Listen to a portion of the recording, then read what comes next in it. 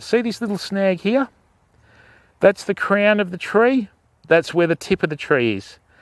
One way to do it is to do a very short range cast, okay, like this. So what I'm gonna do is I'm gonna actually extend the distance between my soft plastic and my rod tip. And I'm just gonna do a very, very gentle short range cast like this, watch. See that? Absolutely premium for accuracy.